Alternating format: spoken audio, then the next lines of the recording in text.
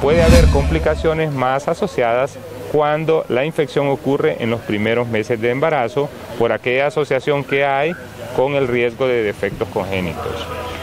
La microcefalia siempre ha ocurrido en nuestro país. Hay muchas otras enfermedades que pueden hacer de que un eh, feto o un recién nacido tenga este problema de microcefalia.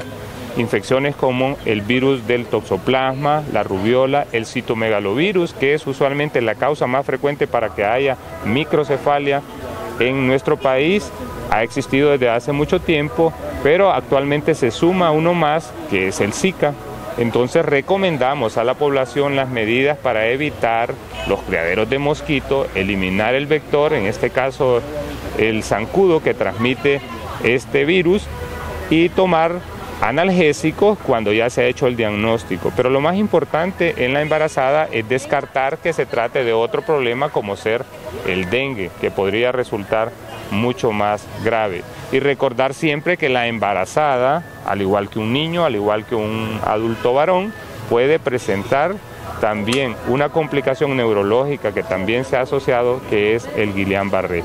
La posibilidad es bien baja, pero es una posibilidad real, así que siempre hay que tenerla en consideración.